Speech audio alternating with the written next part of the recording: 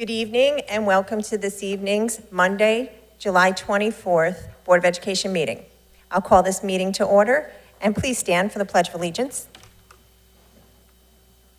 I pledge allegiance to the flag of the United States of America and to the republic for which it stands, one nation, under God, indivisible, with liberty and justice for all.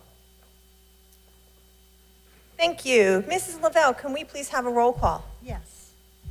Mrs. Costelli, Mr. Doring, Here. Mrs. Passaretti, Here. Mrs. Rocchio, Here. Dr. Reed, Here. Ms. Regan, Here. Dr. Roscoe, Here. Mr. Ross, Here. Mr. Votto, Here. eight members present and voting. Excellent, thank you. Because we are in the summer, we do not have student board representatives during our summer schedule.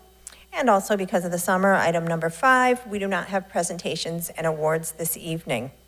Mr. Ross, I'd like to make a motion that we take item fourteen dash two, which is update on the Mark T. Sheehan track and field turf, and move that up until just before item six.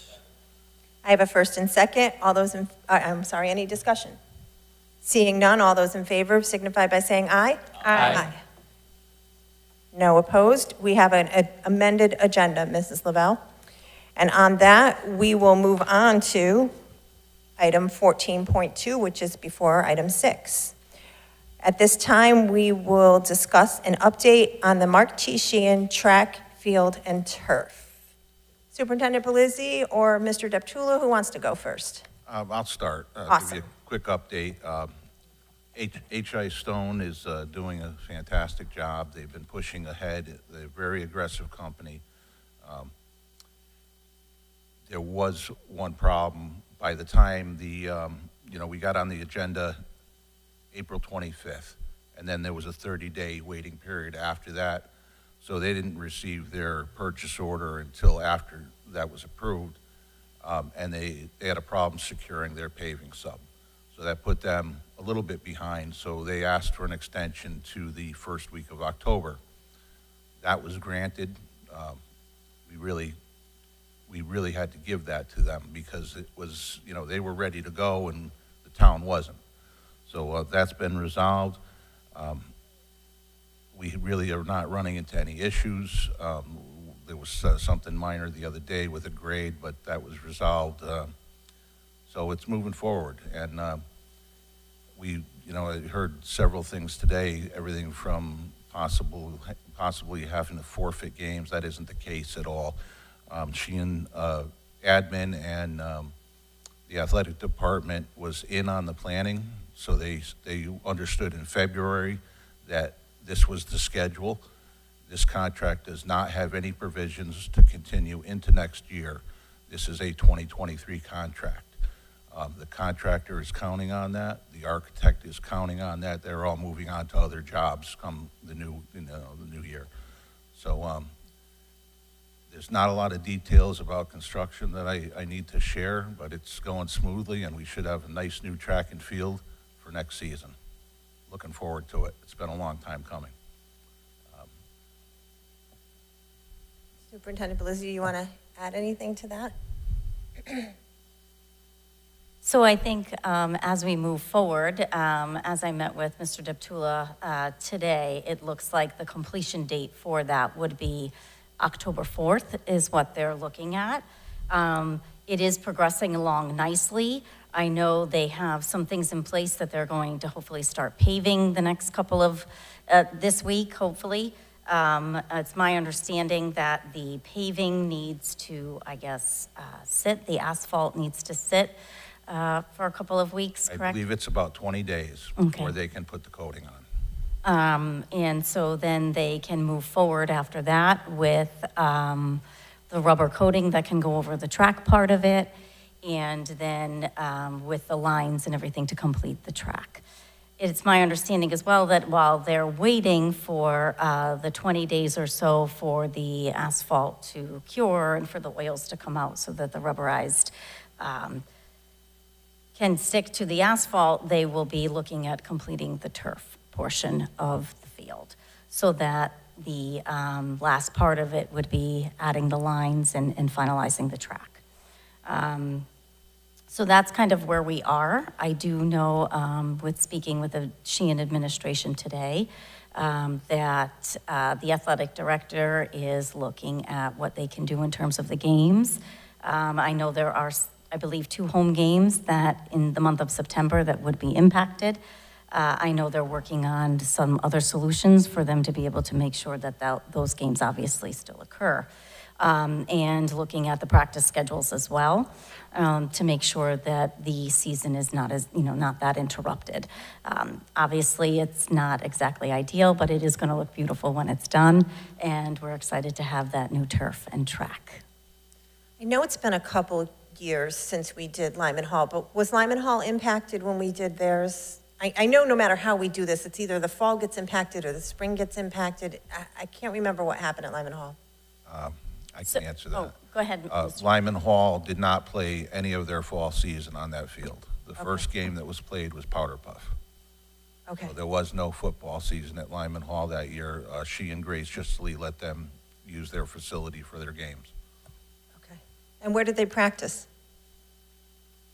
on the practice field. Okay. Sorry. Okay, So I did um, speak with Mr. Corso today um, and pull some files that we had from back in um, 2015, just to look at some of what we had um, and what went on for Lyman Hall. So uh, it is my understanding that Lyman Hall at the time, it was a grass field. And so um, the work that went into the Lyman Hall field was a little more in-depth. So they had to move the bleachers that were there um, and then begin the work. And so that work really started more mid-July for them. Um, It did continue through the entire season. Uh, When I spoke with Mr. Corso about it, he did reach out to Mr. Baker to uh, clarify a couple of things for me because I had some questions as I went through the folders. Um, And so they did practice, I believe, on the grass fields there. They held some games on the Sheehan uh, turf on Saturday mornings, I believe, um, to make sure that they could compensate for the home games that they had.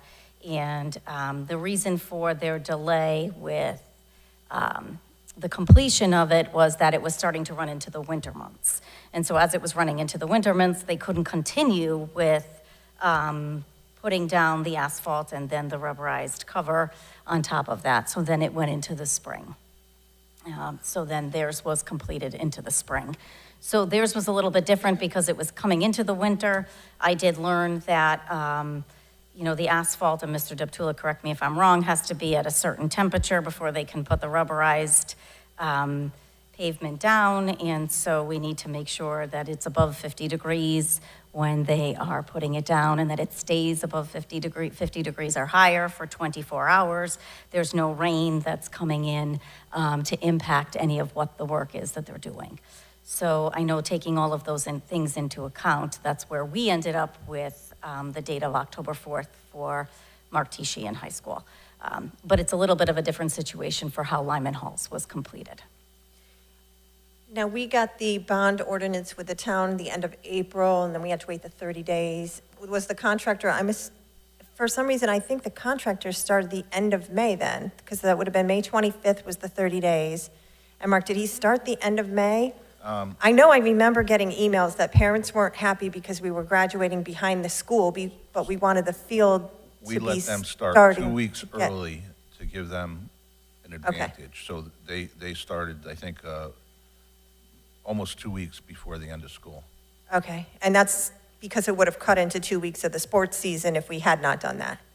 we, we wanted to give them every advantage. Yeah. You know, the, uh, the bizarre weather patterns that we've dealt Yep. with for the last 10 or I so get it. years have taught us that we need to consider that. Okay, Um, COVID and the U- war in the Ukraine has done things that we never imagined to the supply chain. It still affects it today. Still affecting costs. Uh, we know that. I don't, I don't really recall what the Lyman Hall field cost, uh, came up to it, uh, on the top of my head, but it, it- Lyman Hall was an extensive job. We did light. was a we different did job. Underground utilities. It was just major construction. This is nowhere near that scope of work. Yeah. Okay. Thank you. I think I saw a hand. Dr. Reed? So I just wanted to ask um, Superintendent Bellizzi, you also probably have worked with the band in terms of what they may need, like, do they use the turf or anything in them? um, I know for games, but also are there any competitions or anything? And I'm sure you're working on that with whoever you need to. Yeah, they're working on that. Um, Good point, thank you. They are looking at all of that for all of our sports um, and for the band as well, to make sure that they're accounted for. Yes. Mr. Ross? Yeah, I have a bunch of questions, so bear with me. I, an exact, I'd like to know what uh, the exact timeline was on the bid process.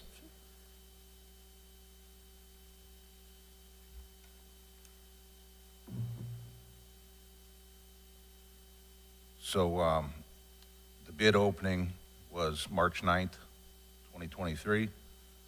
The bid, the pre-bid walkthrough was February 22nd, 2023. Um, I don't, I don't have when they posted it. Um, Once those, once the bid was opened, I think I awarded it within a couple days. It's, there wasn't much there. Um, We only had two bidders and the other one was substantially more, and Stone was highly qualified, so it was, you know, that was an easy decision to make. Um, You know, and they started work, uh, like I say, two days before the start of school.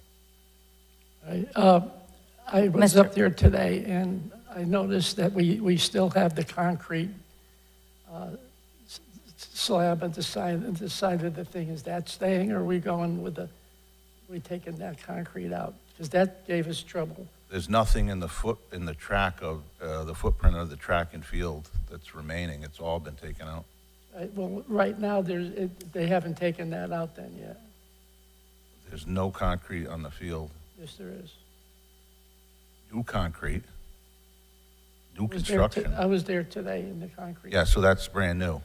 That's new, so that's what I'm asking. We're- We're Yeah, going to go with concrete rather than have the, the, the, the break between the, the turf and the track it- flat. It's going to be a a concrete curb. I, I don't believe you'll see the curb. If I understood it right, they're going over the curb.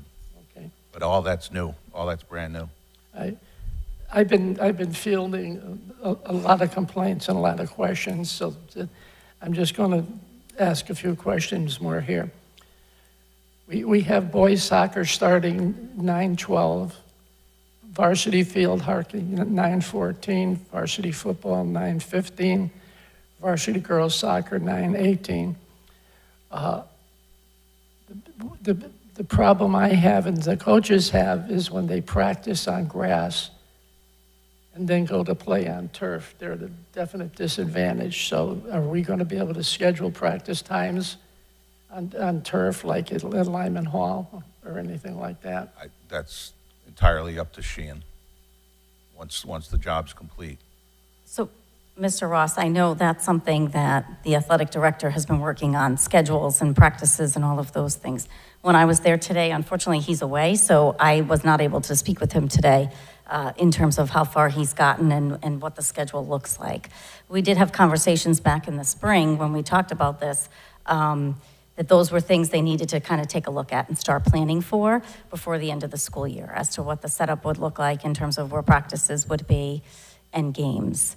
Um, Now, is there any way, uh, so I'm assuming the turf will be finished well ahead of the track, is that correct? It should be, correct. Uh, Is there any way that we can cover the turf so that they can play football on the turf, cover the track so they can play football on the turf? No, not that I'm aware of. Um, This, you mean cover the track so they can get out onto the turf? Yes, No, this, the site belongs to Stone until they're complete. So they're, insu- they're, they're, they have an insurance coverage, um, that isn't part of this job.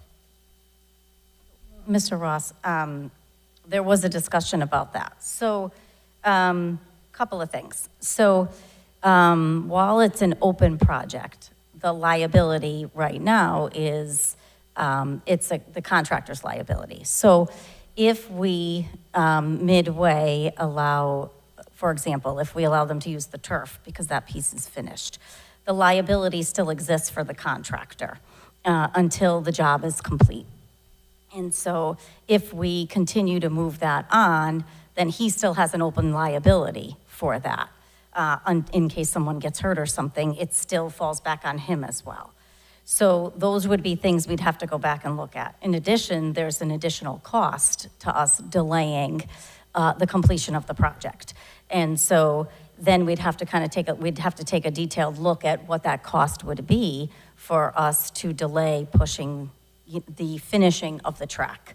So I'm, I'm assuming you're meaning just to pave it, but then not put the rubberized stuff on it and not finish the painting, the lines of it. So we'd have to talk to them about that. We'd have to discuss with the contractors what the timeline for their availability is to be able to do that in the spring. Um, In addition, we'd need to look at, uh, again, going back to the temperature piece that I learned about, that we'd need to make sure we have 50 degrees or more for at least 24 hours to be able to put down the rest of the material to then let it sit, to then go ahead and add the lines. Now, when you're running into that in March, you need to take a look at March, April, May. Is the ground going to be, you know, is the temperature going to be 50, 50 degrees or more? And will it stay that way for 24 hours, meaning overnight as well?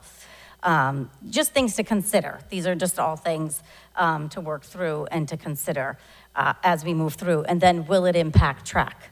So now we're running into spring sports. So now will we impact, if we're delaying it from completing the project now, now we're going to run into the spring sports.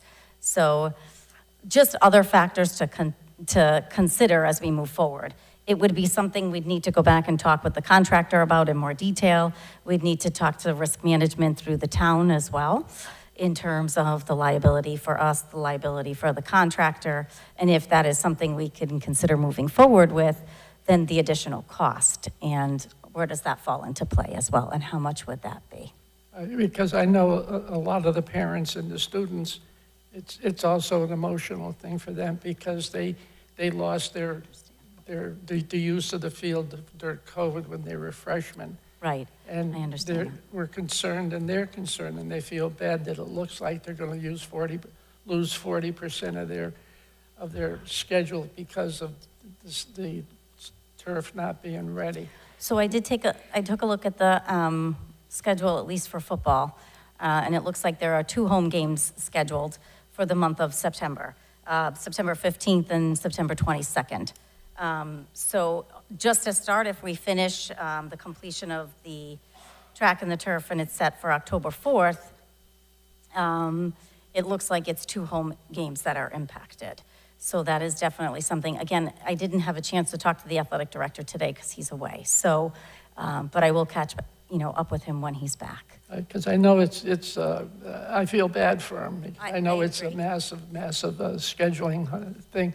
The CIA, the CIAC schedule, which is now posted, still puts us on, on the Riccatelli Field for those games. I know, I looked at it. And uh, I I just, I feel bad for the kids. The kids are looking forward to the game. They I make a, a big, it's a big, big, big deal for them to come down that hill and run out on the field. That's just like winning the World Series every time they do it. And I feel terrible that they're not going to be able to do it, especially since when we originally looked at this project, it looked like we would be able to have the football season.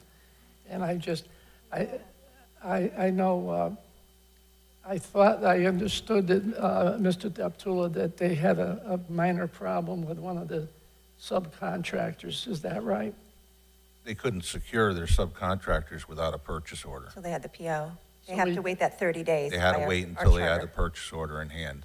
So that took 30 days. That's by our charter. Town council Yeah. procedure, you wait Yeah. 30 days for protests, correct?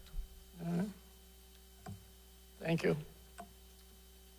Um, I'm sorry, uh, Mrs. Passaretti, then Mr. Votto. Thank you, Mrs. Raccio.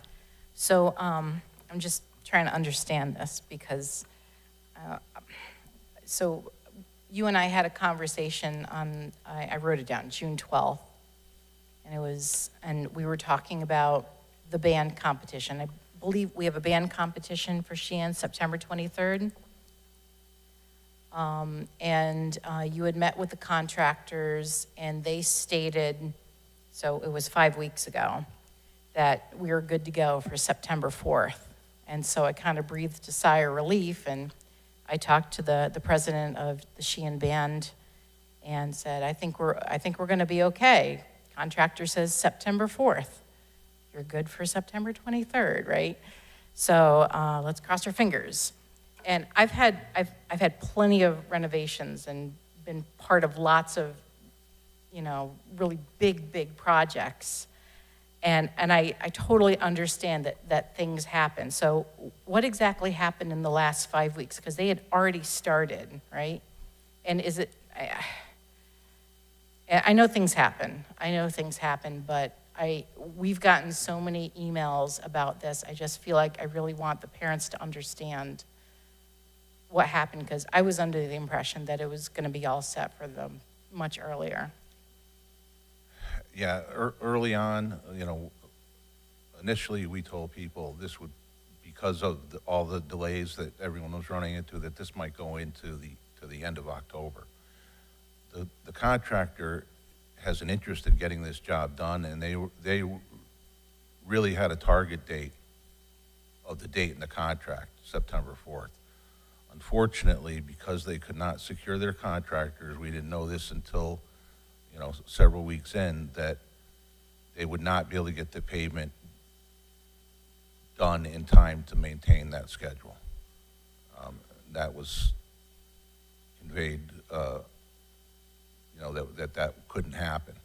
They still want to try to rope this in. Stone wants to do everything they can to get this job done and get us on that field. But right now, it doesn't look like they can keep that schedule. It Looks like they're going to be the first week of October. Um, So, and I know you're working on, you're, you're, um, Mrs. Bellizzi, you're, you're working on, um, getting the, the band folks taken care of. When will they hear what the resolution will be? I'll need to follow up and talk with them to figure out where they are in the process and um, where they've left off with things, so that they're aware as well. I know they're, they're aware that this has been delayed, um, but I'll need to speak with the Sheehan administration and the band director to, to finalize those details. Okay, thank you. Mr. Deptula, I just want to make sure I'm processing this right.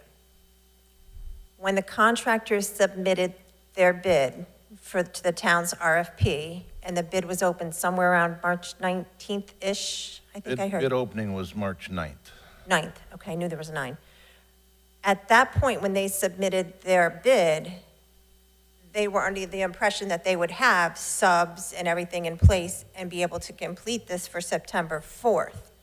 But opening of the bid March 9th, being awarded it a couple days later, and not getting a PO till May 25th, at that point, those subs took on other work, as would be expected, what any sub would do to keep their men busy or women busy. And then they had to push out a couple weeks because of the subs. So they didn't, they're not in default or anything, it's just timing of getting them the PO. That's correct. Okay, just want to make sure I understood that. Mr. Votto, I'm sorry, I cut in front of you. That's quite all right. Uh, Mr. Ross, you mentioned a couple of other sports Yes. that would be affected. Could you Yes. go over that list again?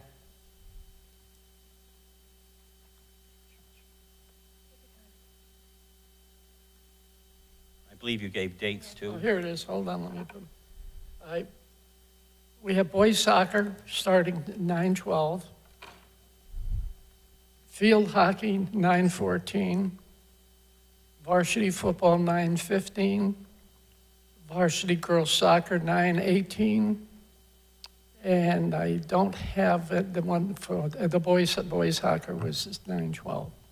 Girls soccer when? Girls soccer was uh, 9/18. And What was the last one? That's the last one. No, I thought you said there was another one after that. We- We had boys soccer, varsity field hockey, football, girls soccer. Okay. And We So have, do we know, do we know how many games these teams are scheduled to be home games? Yes. I'm yes, sorry. uh, uh, varsity for girls volleyball, uh, those, first of all, those dates I gave you, those were all home teams. Uh, After that, varsity girls, uh, Va- Varsity boys soccer, 912. Varsity, uh, varsity gir- field hockey, 914. Football, 96 915. Varsity balls, fo- uh, soccer, 915. And that's all I, oh, here we go. I thought you said 918 for the last. Mr. Barone, did you want to add? I, I just want to add that the, the sports that we play two games in, in the same season, the home will play away and at home. They will likely flip those games. So if we're supposed to play Avon, you know, at Sheehan on, you know, in September, typically maybe you can play in Avon in September and have the Sheehan game later in the year. That's, I think, what probably is going to be the plan on the teams that, you know, the sports where we play both game, both, you know, there's two games. Football, clearly, we don't do that. But the other sports, soccer, I believe, you typically play twice, and they're, they're going to try to flip-flop the, the games that way. Which one's home and which one's away? Yeah, that way you, you won't lose the, Okay. the game itself typically, so That would hopefully. be yeah. soccer, field hockey, and the other soccer. Okay. So That it's was- really just football, that we wouldn't be able to flip-flop. Okay. So do, can I, let me just, mm-hmm. so you, he gave the dates when those first games will be played. Are we assuming there's maybe just another one, a home game, or are those dates the only home game for those sports? No, I believe the only home games are, it's really more impactful to the football, which I know the athletic director at Sheehan is working on. Okay. So, on all of this. Um, So I don't want to go ahead and make assumptions and share exactly what he's been working on when I didn't have a chance to talk to him today. But he has been working on this. All right. I know he's been in a lot over the summer. He's working very hard to try and rectify this situation as best he can. So um, as soon as he's out of the country on vacation, so as soon as he gets back, I will follow up with him and get the details um, regarding, you know, I talked to the Sheehan administration today. They did not have the specific details. So um, as soon as he's back, I will get them. I don't, I don't want to misspeak and Right, say I he's get you. doing A, B, and C when I, I don't have it in front of me to speak to it. but- So historically, uh, as you were saying, um, Mr. Barone, they could with soccer and field hockey possibly switch. So there's probably a remedy for that. Well, the only thing I would like to know is if, uh, by our August meeting, if you can give us some more information to, uh, you know, uh, uh, an update on what's going on with these other sports. Absolutely. So I think he's gone for the week. So as soon as he comes back, I will definitely provide an update to all of you uh, and make sure that is communicated out as well. I mean, I think people would feel better once we know. The specifics, yeah, and you're- exactly. Maybe flip games with the town, is, you know. things Right. like And that. it is my understanding, along with what Mr. Barone is sharing, that you can with the other teams. It's just the football one becomes the um, issue because we cannot do that for those. Thank you. Okay, any other board members? Okay, we do have members of the public here today. Um, I will open this up for public comment, so if you would like to speak about the item on the agenda, after this, we'll have an open public comment for any educational items. But if there's anybody here who has a solution or wants to share their ideas with us um, on how we can move forward with item 14.2, please come forward and state your name and address for the record. Absolutely, that mic should be live. Um, If you could hold your comments to three minutes, that would be great. I'm not going to put a timer on you, but just kind of, that's what we normally say. Welcome. Thank you. Good evening, Madam Chair. My name's uh, Michael Larson. I reside at 11 Partridge Run. Um, Forgive me because I was unable to hear all your comments prior, so I might say some things that may not be valid any longer. However, I'm here to express my opinion on item 14 on the agenda, the Operation Committee's report, in regards to the renovation of the Sheehan Track and Field. First, I'd like to thank the mayor and all the members of the town council, board of education members, operation, and the operation committee that gave their support to this worthy and much-needed project. The current and future students of Sheehan applaud your work in getting this done. Myself as a parent, thank you as well. Now to address the possibility of our children not being able to utilize the turf until October. If the information I have been given is accurate, and the turf will be installed prior to the start of the fall sports season, and that the stick in the spokes is that the track will not be complete, I offer a potential solution. If the contractors were able to get to the point of asphalt, they could then hold off on the critical surfacing part of the track installation until the week of October 30th. The contractors would then have nearly three weeks, there would be 14 weekdays to do this critical work. Sheehan football has a home game against Amity on October 27th and does not come back to their home turf until November 16th. I'm not completely sure this would provide the proper amount of time to complete the process, but I do know if we're able to do what I recommend, we'll be able to get the, we'll- we will be able to get the track done, finished in our fall season schedule without disrupting football, boys and girls soccer, field hockey, and the Sheehan Band will be able to have their band competition, which I am told is a major fundraiser that, provided not having, it could potentially cripple that program. Please consider my proposal and present it to the contractor. Thank you for your time.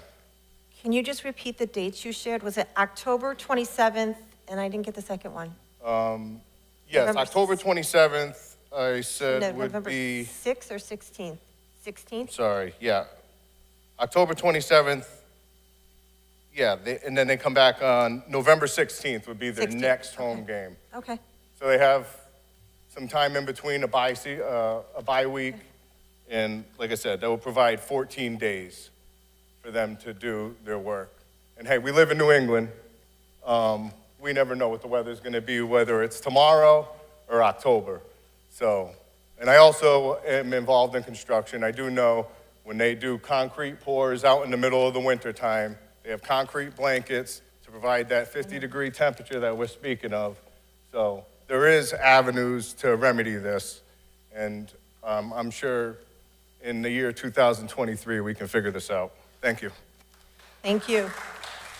Thank you for your proposal. I, I really do appreciate the effort that went into a solution and, and, and bringing the, the possible solution to us. So we, Mrs. Bellizzi, would, would you be able to explore that? And um, I know that the, the contractor did not want to leave it open until the spring for liability reasons, but for, maybe we can come to some kind of agreement between the town and the contractor um, and risk management to get it in that window. I don't know. Agreed. We'll- we'll Yeah, look no, at I think everything. This is an, this is an excellent idea. Thank you. Thank Um, you. And so I took some notes, and so definitely we, get something we can go back and have a discussion about. Thank you very much. Yes, Good evening. My name is Erin Villano. I live at 130 Pearson Drive, and I'm a rising senior at Sheehan High School. I'm speaking tonight as the captain of the field hockey team, and I also want to point out that many of my fellow student athletes also wanted to be here, but during the summer they have practices and they have games, which shows how much these sports matter to us. That is why the issue of the Sheehan turf needs to be addressed. Just over 63% of my home games would have to be played somewhere else. We play eight home games, and five are scheduled to be before October 4th. There are more than half of those five games that we only play once, which means we cannot switch them. Also, the switching of the games depends on the other school's schedules, and it would not be a definite solution. Field hockey may not be a super popular sport, but we are an up and coming team who was qualified for the Class S tournament last fall. Our fans and spectators consist almost entirely of parents and grandparents, and that is why I need to begin on a note that is personal to me, but that I know affects many other student athletes. My grandparents only have three grandchildren, and they have been our biggest supporters throughout our entire sports careers. Their oldest, my sister, lost all spectators in the fall of 2020 due to COVID regulations. No families in the stands, police presence designed to keep people off the grass, and no one but her parents to walk her out on senior night. Her grandparents were not allowed to watch Powder Puff in the spring either. They also lost the chance to watch my brother play his last season at Sheehan, of Sheehan football. As their final grandchild, it would be devastating if they were unable to watch me play my main sport. And why? Because whether we're playing at a different high school with farther walking paths or poorly maintained fields or grass fields, limited handicap accessibility makes it dangerous for them to attempt to be there physically present at my games. Sheehan has a unique layout which allows for viewing directly from the handicapped parking spaces. This has been used by many grandparents, especially my own, and disabled spectators. My high school years began with COVID restrictions, leaving people in your position throwing up their hands and saying, Well, what can we do about it? The answer then was nothing. But that is not an acceptable answer now. This problem has a clear and easy solution that was just brought up right now. And it's time to say, let's fix it, not we're stuck, because we really aren't.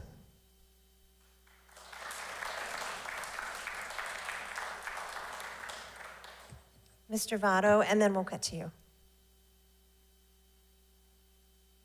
I'm one of those grandparents, um, and I know what you're talking about, but I don't, from what I heard tonight, I don't think we're stuck. I think we're going to try very hard to satisfy you guys. You heard the conversation that's going on here, because I'm getting it from the other end, too. Um, but you, can you just explain one thing? You, you talked about five games before October 4th. Is that what you said?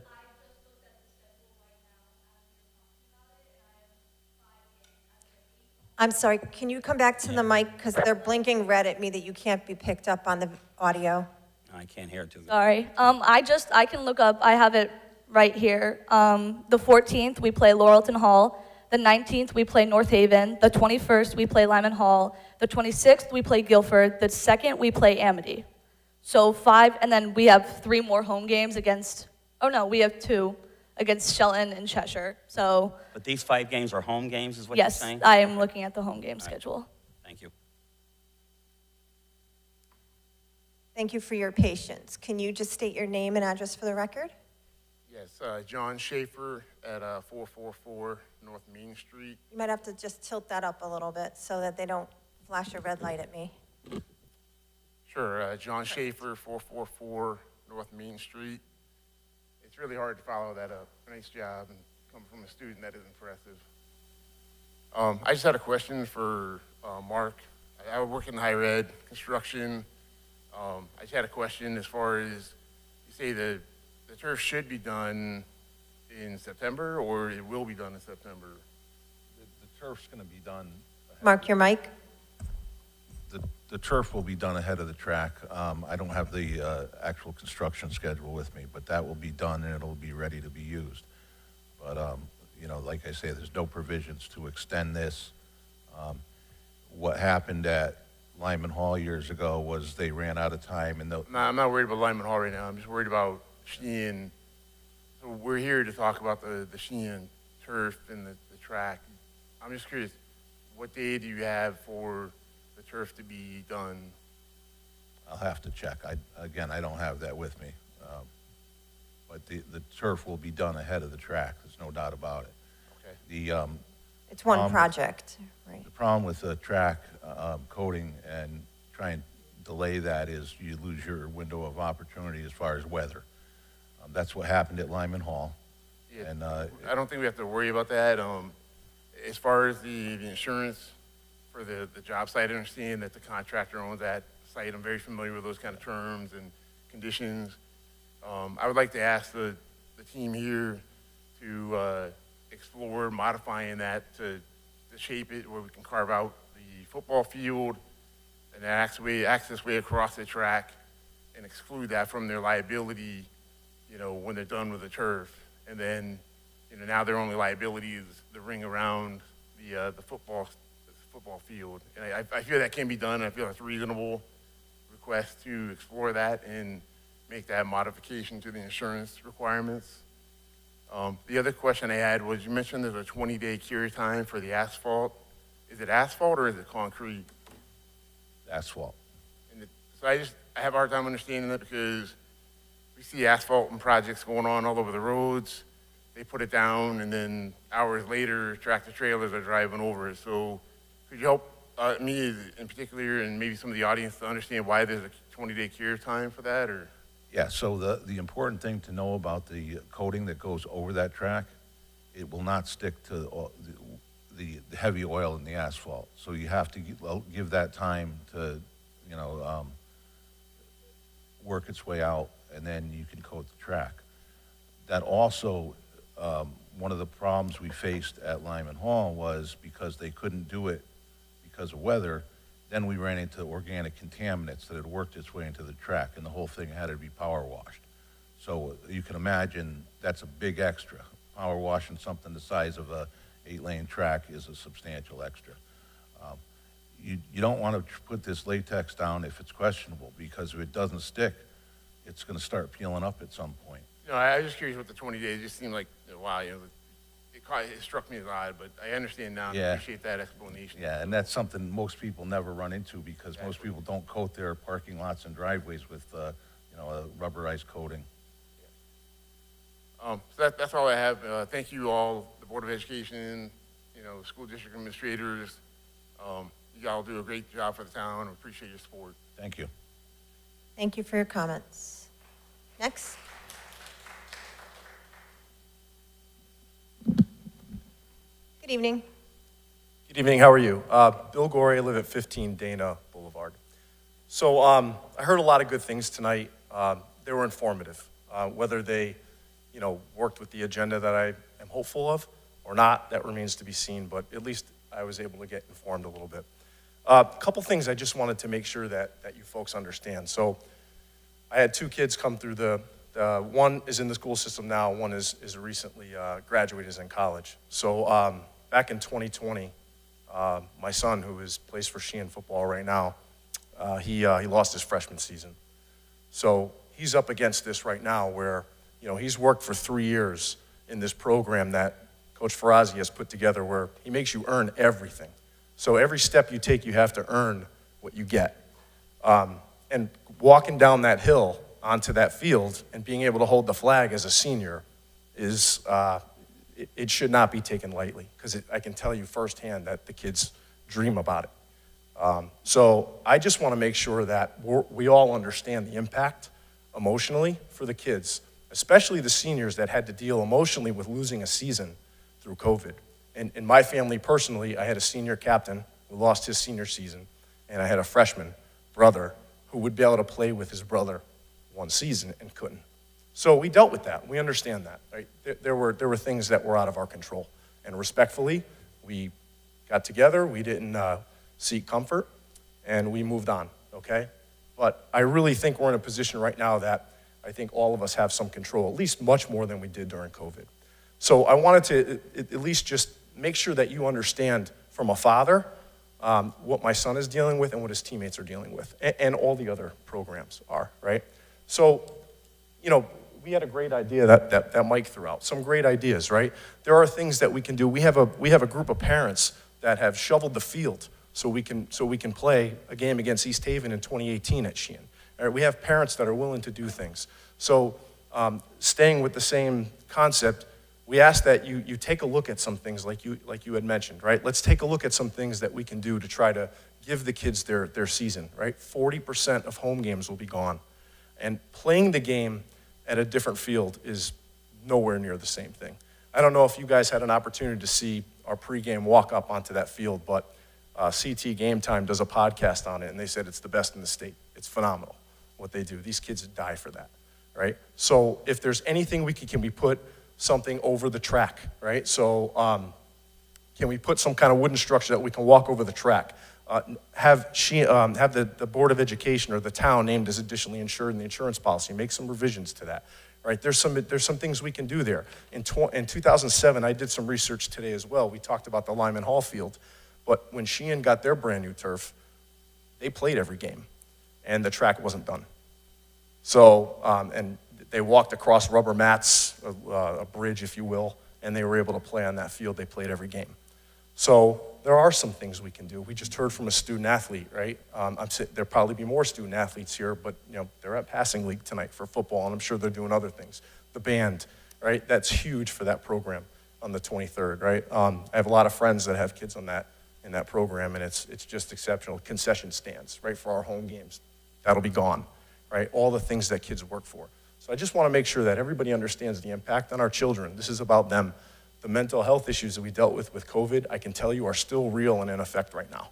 I can tell you firsthand. We deal with it, we move on, we regroup, and we grind, but they're there. This just adds to that. So I just ask everybody that we do everything in our power and do this for the kids. Thank you. And I appreciate everything you guys do for this town. Believe me, we, we appreciate everything. You're volunteering, you're doing things for us, so thank you. Thank you for your comments.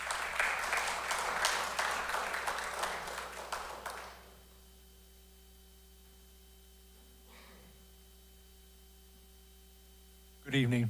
Um, I'm Mark Rapino, um, 5 Merwin Road. I've had two grandsons go through Sheehan football. The last, my youngest, just graduated in June, so I know I can vouch for what Bill is saying here, how important it is. Another factor to be considered, and I can't give you the actual numbers, but at every home game, Sheehan has a very successful concession stand. We make a substantial amount of money that helps to fund what we're trying to do with the football program. We don't have those two home games. We're talking several thousand dollars we're going to be out of. Multiple thousand dollars. It's another big factor. So anything that we can do, if that field is ready to go before the first home game on the 15th, and we can put some type of bridge or something over the track to make it work the way they did almost 20 years ago, let's do it. That's a lot of money for the program.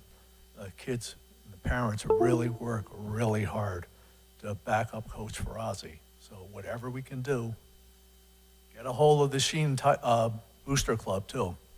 As Bill said, I was there. I was one of those parents who helped shovel the snow off the field uh, five years ago so we can play the East Haven game. So we'll help too, whatever, if we have to do anything physically, let us know. Thank you. Thank you for your comments.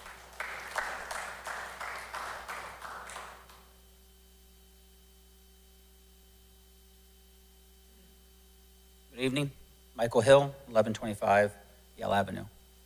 I am co-president of the Sheehan MPA, uh, of the marching band. I'm kind of here to represent the band and our home show, which is September 23rd. Um, Our program has already been devastated. 2020, obviously, we all know what happened there. 21, there was limitations, and then last year, we lost it because of a rainstorm. So we've been hit pretty hard financially. And now the talk here is this field is not going to be ready for September, for our home show. So I'm very disappointed in that. The talks were talked in February, in March, May, June. We finally get it out there in July.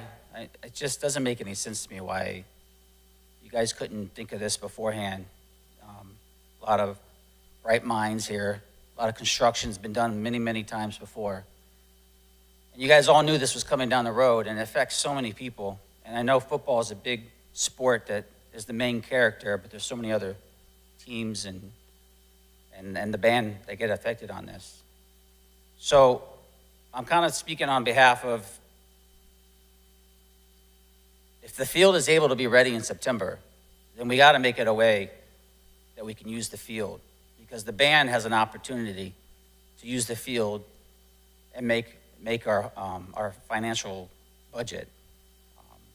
We raise that money for our home show, and it's our biggest fundraiser. It's $15,000 profit goes in, and that's, that, that's huge for us. We lost 2020, it's 15 down the drain.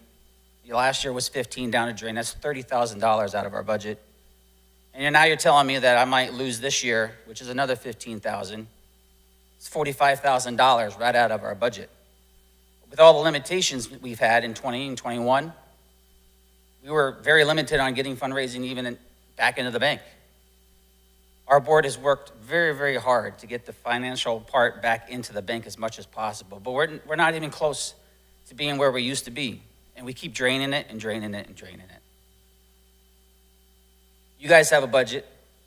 Everybody has a budget. The construction guys have a budget. And I, sometimes I feel like you guys forget about the people behind the scenes who make it happen for these teams. There's so many volunteers that use their time and their effort and back their kids to raise the money so these programs can go. And the Sheehan MPA worked really hard this past year to get some funds back into, back into the bank so the program can continue for 23 into 24. And that was almost not going to happen. So it's very frustrating as a parent who has three kids. Two have already gone through the system, one's coming in as a freshman. That for some reason we can't get our act together to make sure that deadlines are met for all teams to be able to play on their home team, on, on the home field. It- it- you guys have to find a way to make this happen. There's so many things that can be thought of to make sure that we can use this field. And they should, it should just do it. You guys, it's been a struggle for the past three years with everything that's gone on. And you guys knew this was coming. The talk started so early, and, and you're coming with us with no dates and no, no, you don't, you don't know. There's no information. That's all we always get. And I know you guys' job is hard. I'm a volunteer, I co-president, so I, I understand the work that goes into it. It's frustrating when we want answers and we just get, oh, we're, we're talking about it, or we'll, we'll get back to you, or the next meeting we'll have your answer. That's, it's just unacceptable. So if that field is available to use by September, you guys have to find a way that all these teams and the band can use their home field. It's the right thing to do. It's the right thing to do. No more delays. Make it happen. There's plenty of ways to make it happen. And I know lawsuits and paperwork and lawyers are all involved in this and insurance and all that, but there, it's paper. There's agreements. You guys can make that work. You can make it work with the construction workers to make sure things are cleaned out of the way when games are ready to be played or our home show is ready to go. Got 15 other high schools coming to our, our home show. 15. And now we might have to find another place to go to host that. Doesn't make any sense to us. We finally get a chance to get out of the situation that we were put in, and then you're getting this information back at us. So I just hope that you guys can all find a way to do the right thing here because it's not just affects your budget, it affects so many people and so many volunteers, parents, and students. I tell you, if this goes down and we lose money, this program that we support for the marching band will pretty much be over. It was hard enough to get it to where we're at. I've worked damn hard with all of our board members to make sure it happens. And this is just, it's, it's devastating to hear that you guys will not have this ready. So find a way. Thank you.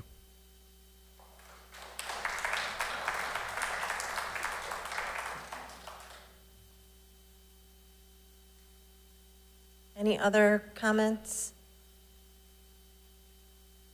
Welcome. Hi, thank you. I'm Bridget Hill, live at 1125 Yale Avenue. I've been the, uh, on the board for the Sheehan MPA as well for about five years. This year I am the treasurer. So speaking to part of what the band does is, I wanted you all to know and we're aware that the band is almost 90% funded by parents. The town only supplements the school buses and two stipends for teachers. Everything else needed for these band competitions, band season, is raised by the parents and the students. So it is crucial to keep this program going that we can fundraise. So I just wanted you to understand that for every year that we are in band, it's about $40,000 just to run the program. I'm getting choked up, sorry. And the kids, some parents come to you and they say, I don't have money to give you $250 this year because we had to raise the fee for the kids to play because we lost out on our home show two times. So it's just, it's emotional to see the stress on the kids and the parents. So I'm sorry I'm emotional, but the money that is needed to make this program run, that's so near and dear to those kids, the home show is such a big, huge part of it. And the community has come together. I mean, the football team was so gracious last year. They let us participate in their concessions to help us maintain being afloat. So I'm just asking you to consider all possibilities from a business, from the legal standpoint. What can we do to get creative to make this happen for the kids? That's it. Thank you. Thank you.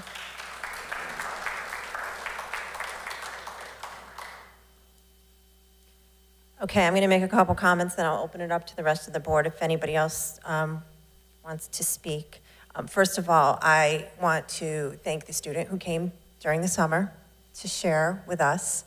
Um, I know it's, first of all, not an easy thing to get up and speak, but to come here during the summer and represent your classmates, thank you for coming. Um, I also, absolutely. I also want to thank all of the parents and representatives and residents here tonight. You spoke very eloquently, you spoke very respectfully.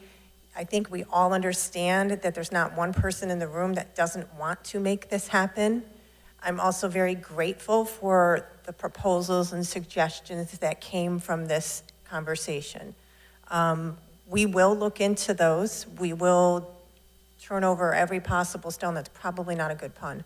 We will do everything in our power to make sure that we can make this happen for the students.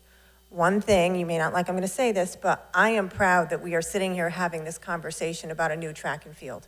And we are not sitting here having a conversation about how bad the old one was and that you're concerned about the safety for your children. Okay, so that is a huge step forward. I know the timing's not great, but, uh, you know, those seniors are going to be able to walk down that hill and graduate.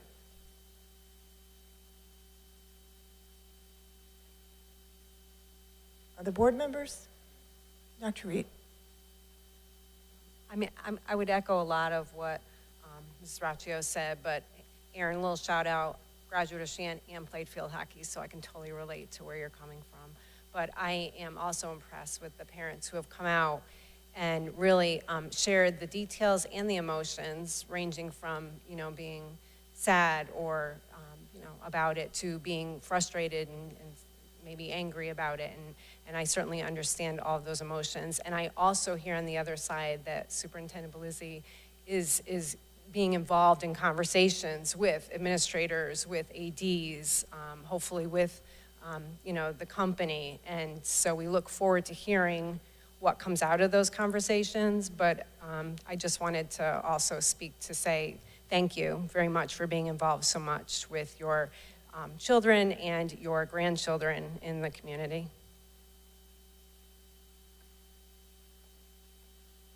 Mrs. Regan? I do appreciate all the comments. Um, it's nice to hear. I will say that if there's anything, um, and I, and I hope we can find a solution, but I will say if it doesn't happen um, at the cost, I should say, I don't want it to happen at the cost of the safety of any of the other students. And I think that for me is paramount. You are going to be having an unfinished track. There are safety hazards that are associated with that. And I'm sorry, I'm in the insurance business, so I'm very keenly aware of liability. And I wouldn't want to put any student or any parent or any grandparent in any sort of danger knowing that that track is unfinished. Do I want these games to be held? Absolutely. I want the field hockey to be able to play. I want the football. I want the band plant to be able to be there. But my conscience would not let me do that if it went at the expense of the rest of the students who may be injured or at the safety. So if we can mitigate those risks and the safety and work with the contractor around that liability, I am absolutely for that, and we will work our hardest to make sure that that can happen. Um, I saw Mr. Ross and then Mr. Votto. Yes, I'd, I'd just like to personally thank everybody in this room. I want to thank you for coming. We've, we've had many conversations over the past few days, and you all presented yourself well without throwing stones, and that's a euphemism, but uh, I promise you, we will do our best to see that, that this is open in time for all your events. Thank you so much for coming. Mr. Votto? Yeah, um, again, thank you for coming expressing your views, and I like some of the ideas. I'm still trying to figure out what you said about a blanket. I don't, I'm not in construction at all. Um, But I also, I also understand the emotional part of it. As I alluded to before, I have a granddaughter on the field hockey team, and I have two grandsons who play hockey. They're all seniors. And Sheehan can't have a hockey team this year. There's only nine kids. So they had a co-op with East Haven. Do you know how sad these kids are that they can't play in their hometown or for their hometown team? Um, couldn't co-op with Lyman Hall because CIAC wouldn't allow them to because if they got to the tournament level, they couldn't do that. Um, so I know what you mean by emotions. I, I hear it all the time. Um, so again, I just want to reiterate what I said before. As you heard me say to Mrs. Bellizzi, let, let us know in, in August what, what's going on as far as the games and where they're being played and if some solution can take place.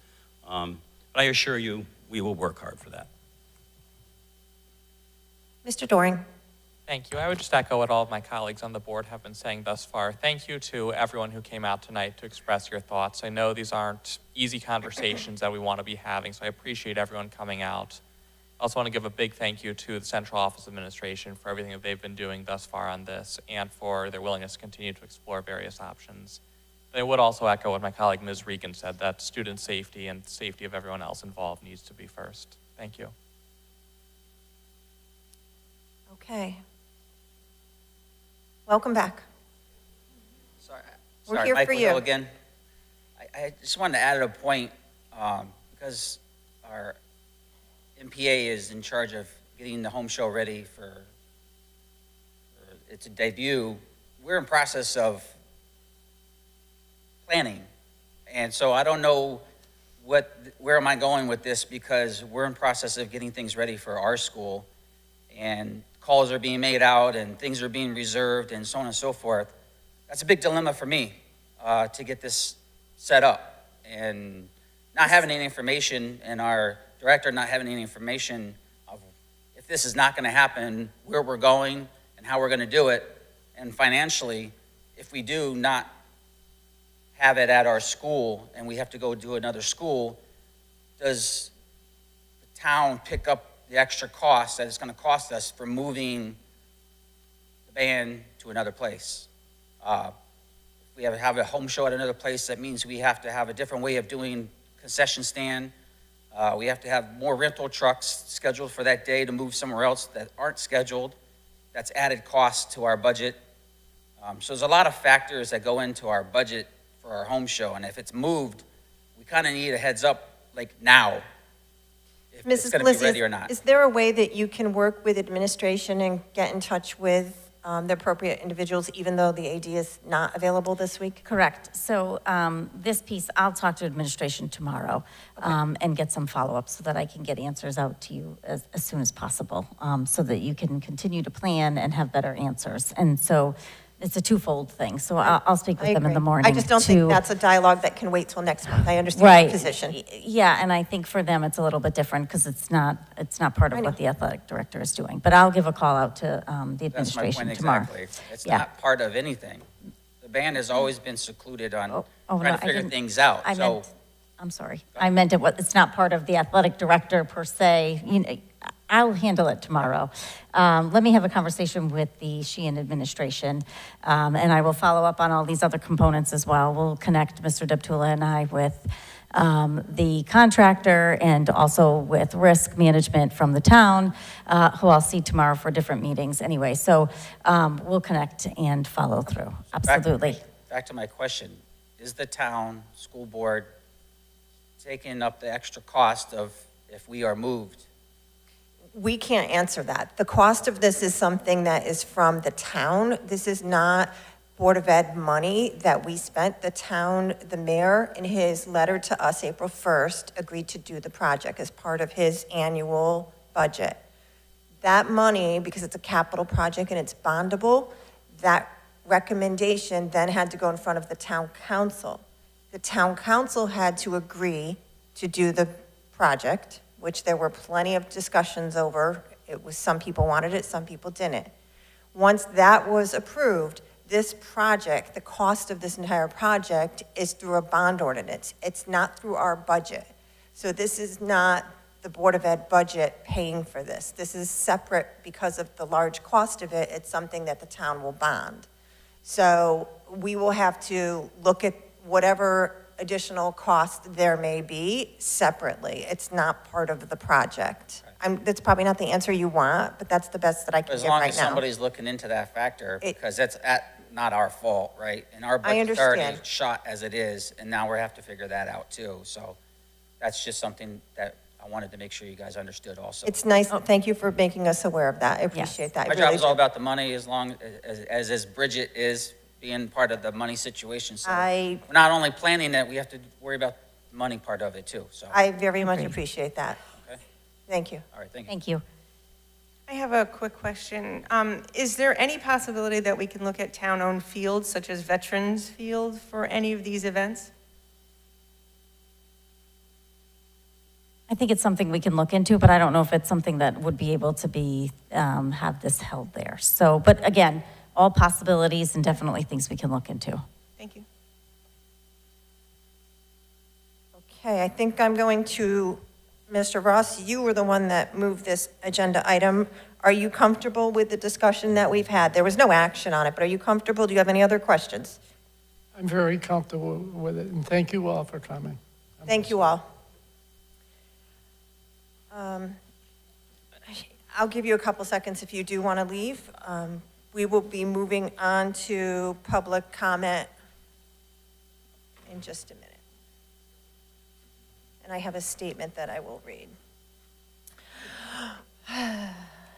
Uh, My public comment statement? Okay. The board welcomes public comment as it represents an opportunity for the members of the public to express their views to the board on matters within the board's authority. We ask that all speakers maintain appropriate standards of decorum.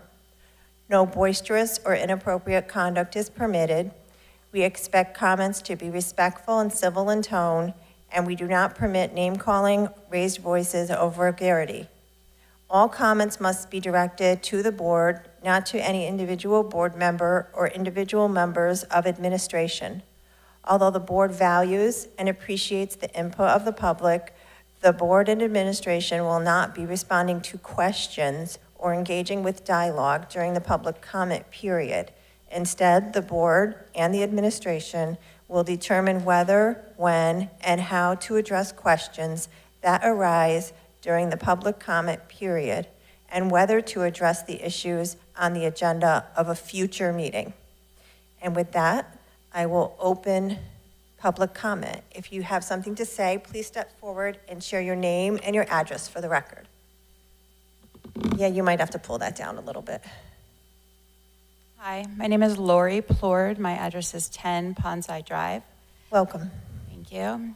Um, This is my first in-person Board of Ed meeting here. I am the mom of five students that have, four of which have already gone through Wallingford schools. My youngest is a middle schooler here, um, goes to DAG. And I'm actually very saddened to be here tonight, um, something that I didn't have to do.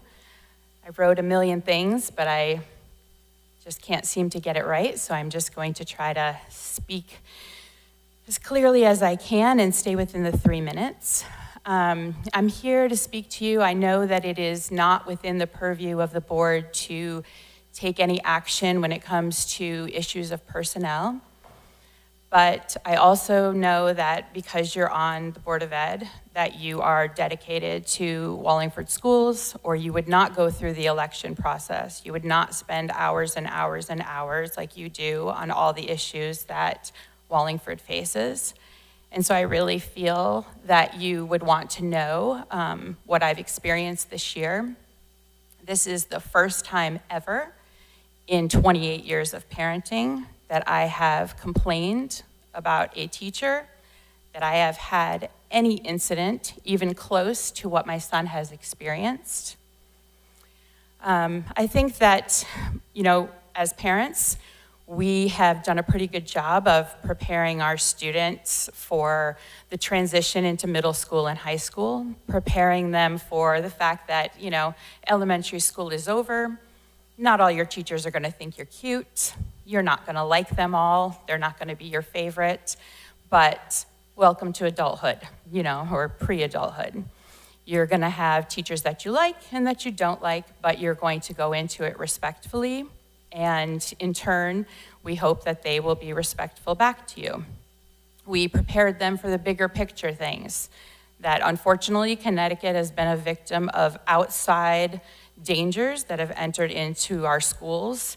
And we spent a lot of time, like many other parents, talking to them about how they could keep themselves safe if any of those dangers should come into our schools here in Wallingford. We had a lot of conversation about bullying and who they would who he would go to if he needed to report bullying, how he would handle it. The one topic we did not cover, nor did I ever think I would need to cover, was what he would do if an adult, a teacher, someone he thought he could trust, was not treating him fairly. Not only not treating him fairly, but emotionally, mentally abusing him, and in the end, physically assaulted him. Some of you up here know what I'm talking about because there's an open police investigation.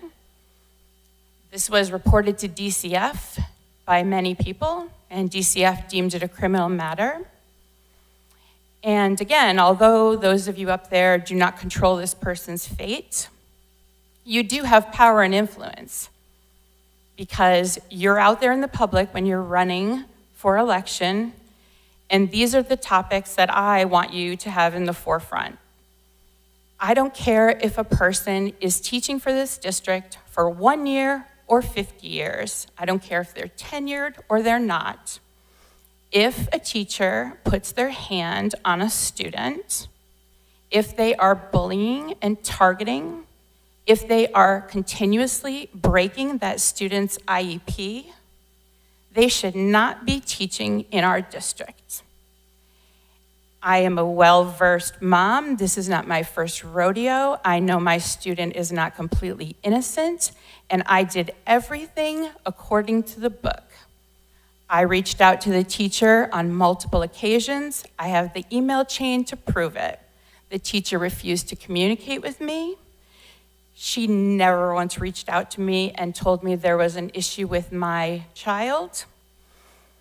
And after multiple, multiple, multiple incidences, when she finally scared my child with her fists clenched and her face two inches from my, my student's face, I then included administration. Administration required her to come to a meeting. She did not show up. At that point, my student was allowed to be removed from her classroom. She was told to stay away from my child. She did not listen. She approached him again. She was told again to stay away from my child by administration. She did not listen. It, the end result was by the testimony that I have seen and by the statement given to the police that she did physically touch him, depending on which statement you read, either around his neck or around his chest, and he ended up hitting a locker and then hitting the floor. Now, conveniently, there are no cameras in the hallway of the sixth grade that could see it.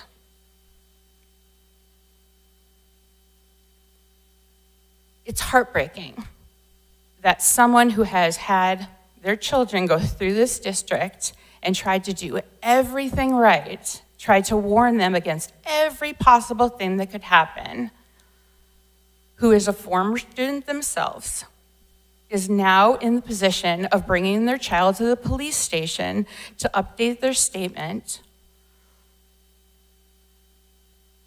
is now standing before you, asking you to stand behind me and make it a priority that you get better cameras to protect our students against the people who are supposed to know better.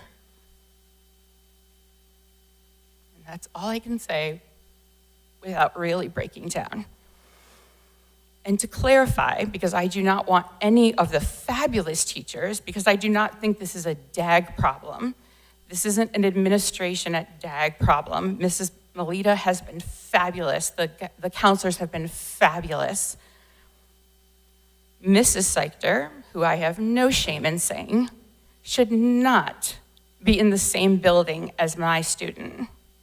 And the suggestion that I move my student to Moran to alleviate this problem, no, not gonna happen. So I know that you, as a board, cannot do anything, but me as a parent, I will continue to do things. And I'm not gonna let it go. So I appreciate your time. And like I said, I understand where your hands are tied. But I also know that when you're running and your voices are heard by the public, that I hope you remember that the safety and the support that we need as parents is better cameras and better oversight of those teachers who think that they can get away with anything because they're tenured. Thank you. Um, Thank you for your comments. I know as a parent who has spoken to the board before I was on the board, it's not easy to get up and speak about your child. Um, It takes a breaking point for you to do that. I, I do appreciate you coming. I do appreciate your respect of our position that we're not directly involved with personnel matters. Um, and that we, as a board, cannot comment on your statement, um, but really know that we do appreciate you coming tonight. Thank you. Any other public comment this evening?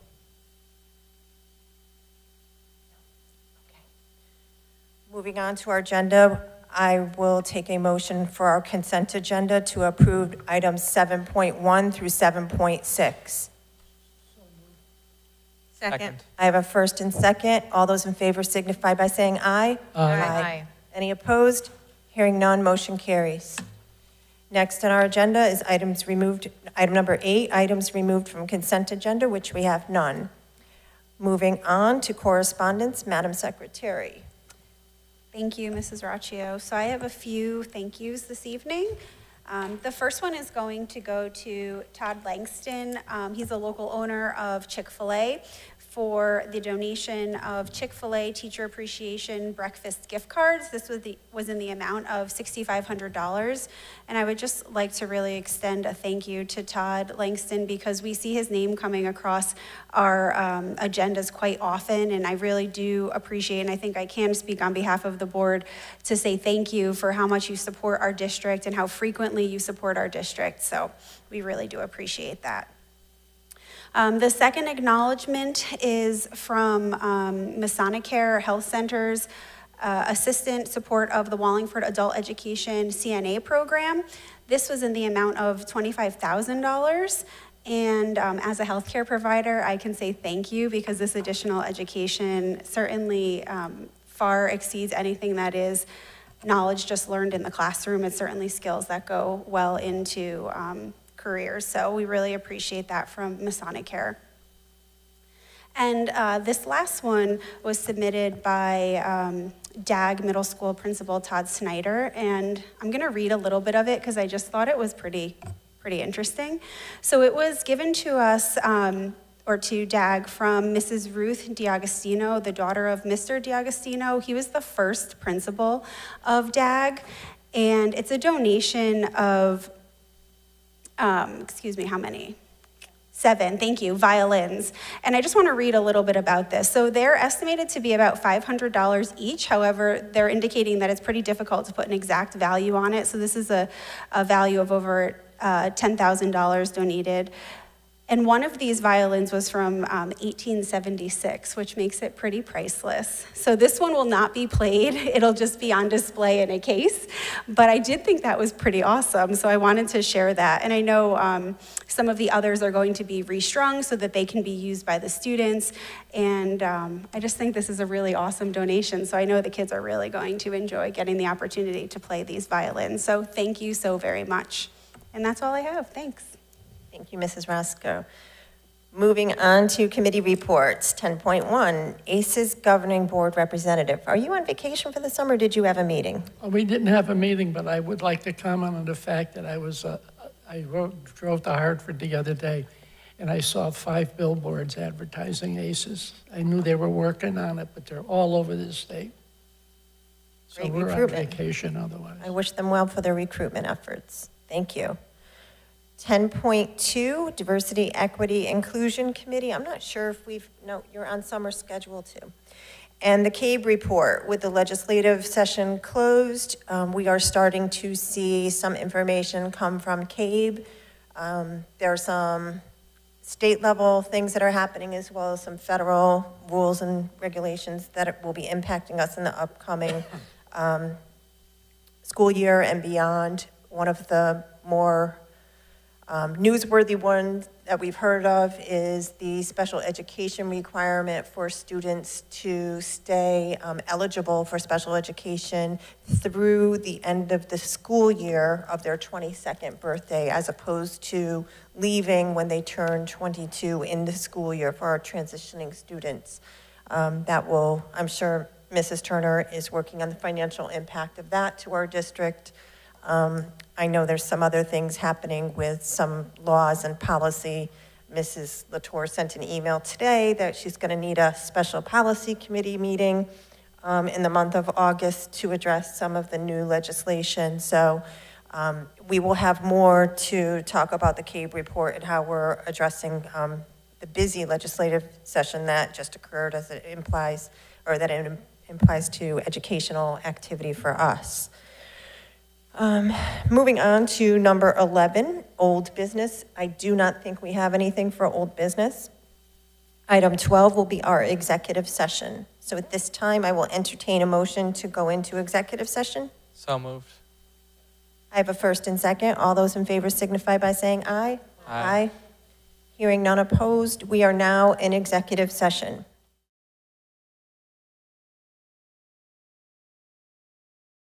Good evening and welcome back to tonight's monthly Board of Education meeting.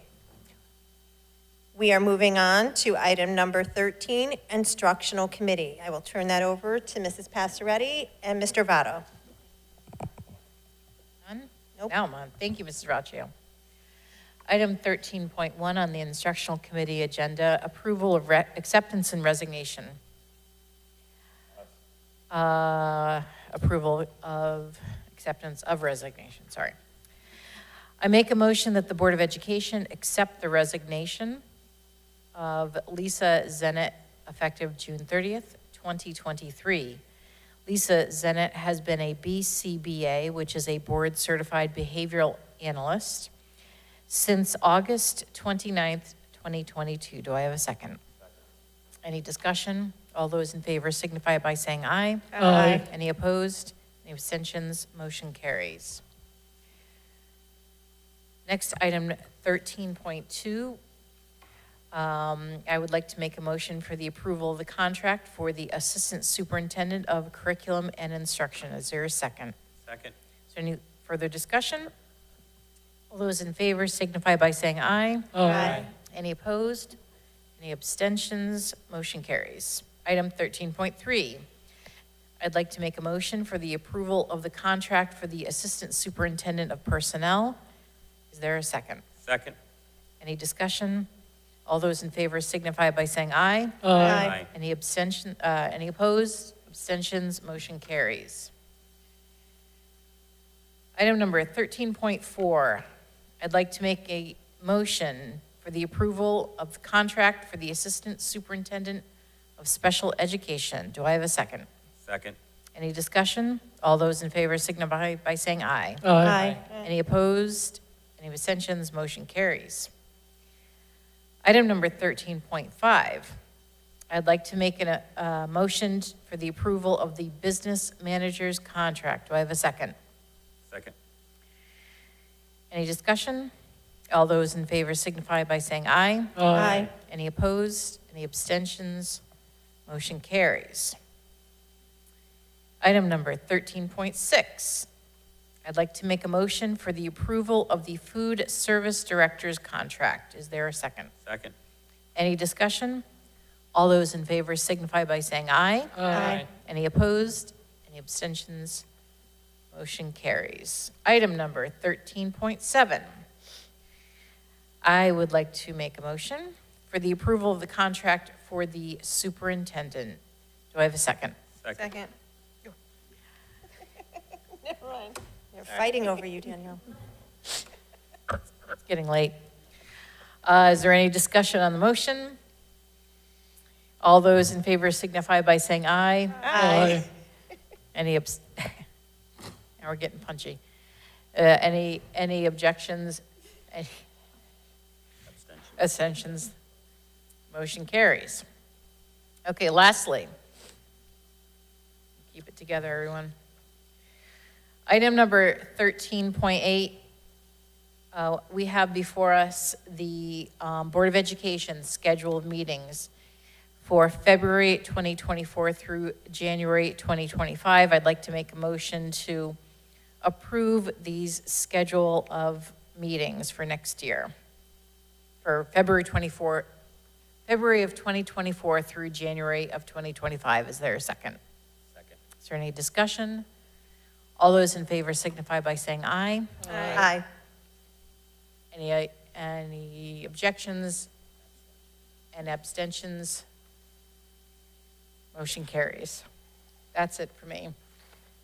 Okay, we're going to make this fast. I'll turn it over to you, Ms. Regan, for the Operations Committee report. Which Item- there is none because we did not have one in July. Moving I on. told you it would be fast. Okay, moving on to administration. Superintendent Bellizzi, do you have an administrative report for us tonight? Yes, hi, good evening. I'll, I'll keep it quick. Um, so it is summertime. Um, this is a time for us at central office when we uh, continue to plan for the start of the school year. Um, so we have been working uh, as a team to kind of look at what the year is going to look like in terms of professional development, in terms of meeting with our administrators before school starts, uh, welcoming our teachers back in the fall, and planning for those schedules. Um, as you know, uh, school starts for us on August 31st for our kindergarten through 12th grade students. So we're working on that, and preschool begins on September 6th. Um, the personnel office has been very busy with uh, hiring staff, and so we're doing a great job with that and moving along, which is exciting. Uh, so we're just focusing right now on making sure we have staff hired. Everybody is in. Um, in the mode of getting ready for the start of the year. Uh, I have been working with, um, two days last week, and I'll be there again tomorrow with our uh, Wallingford Police Chief and um, uh, risk management from town, conducting interviews for our four new positions that we'll have. Um, we are hopeful that we'll have them for the start of the school year. Uh, we're wrapping up our interviews tomorrow of two more candidates.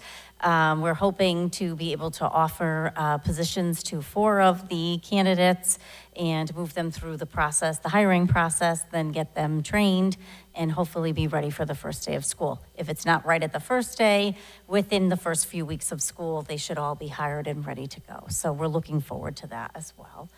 Um, and I think for us, we have another meeting set up on August 14th to do our strategic coherence planning with Jonathan Costa from Ed Advance. Uh, the last meeting we had, he gave us a lot of information to kind of review and look at so we can uh, move forward with, you know, reinventing or reviewing, I should say, the current vision and mission that we have for the district, uh, looking at what the vision uh, and the portrait of a graduate would look like for the year, uh, and strategic plans for that as well. So um, we've been sort of busy at central office going over those things. Uh, we did have our we had two meetings actually with Colliers so far. One was our initial meeting with the Colliers group to uh, have them start looking at documents that we have, strategic plans, give them an update as to where we were with the high school plans and uh, all of our facilities that we have and what we're looking for them to take on with us. Uh, Mrs. Latour and I met with one of their educational special educational uh, I'm tired now, ed spec consultant today um, to just talk about what it would look like, what's required, uh, what the meeting schedule and timeline would look like. Uh, So we're excited to start that project as well.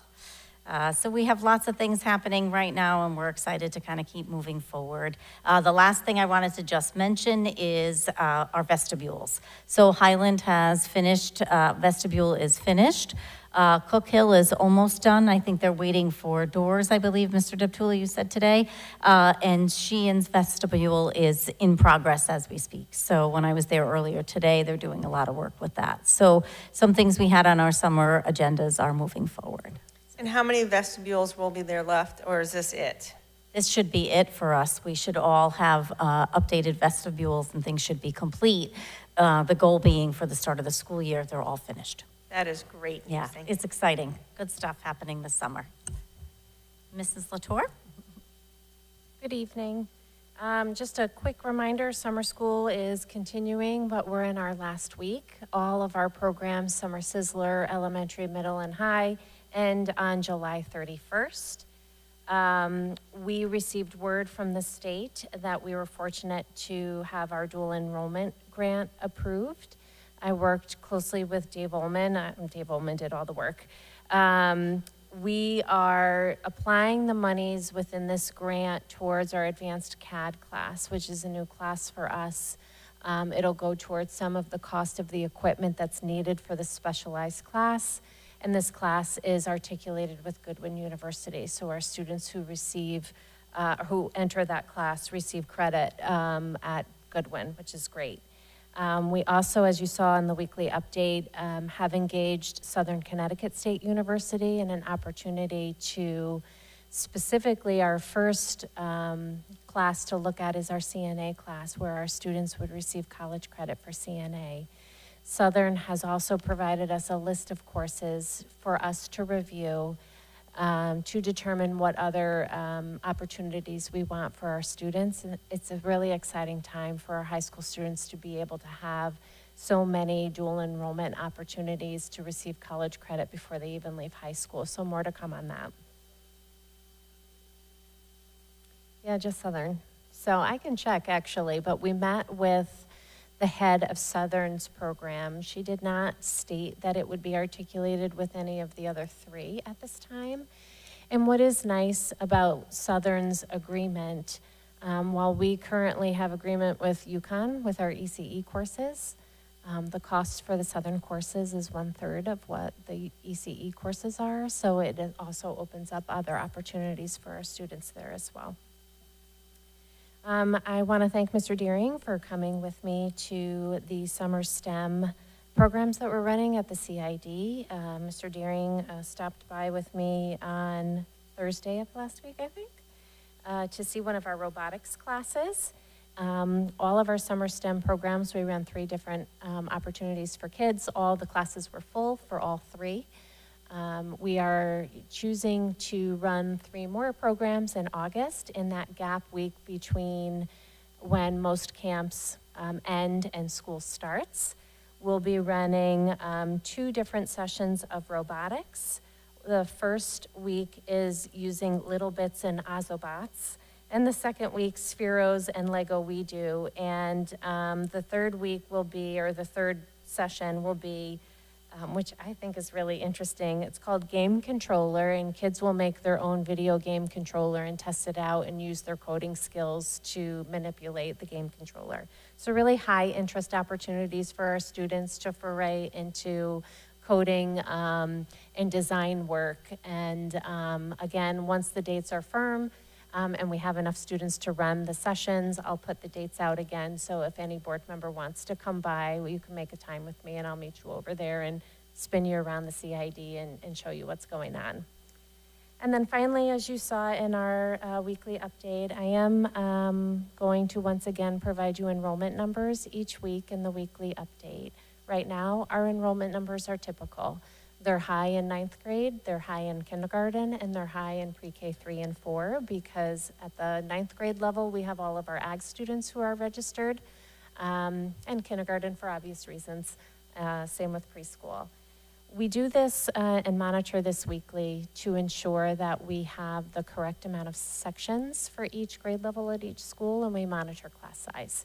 So as you continue to see the numbers, uh, we continue to look at class size, and as really by mid-August, we start to make decisions on where we might have to shift staff or add staff if needed. So um, that's all for me. And, yep, So I noticed that ninth grade number. Yeah. And you answered one question. I think it was like Mhm. 68, right? Something like that. Um, do you know off the top of your head how many of those are the ag students? Uh, no, but I can find that out and I can, just I can put curious. that in. I, I will tell you the majority of them are ag. Uh, probably 90% or higher are ag.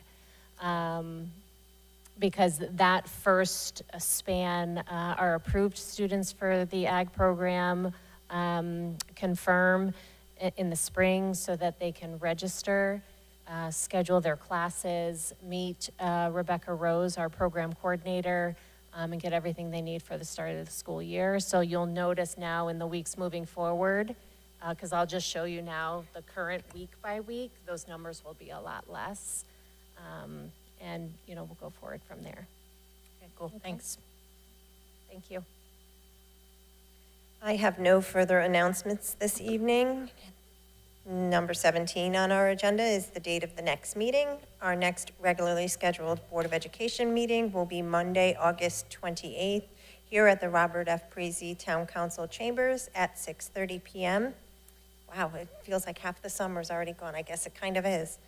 Um, With no other official business to come before the board of this evening, I will call this meeting adjourned. Thank you and have a good evening.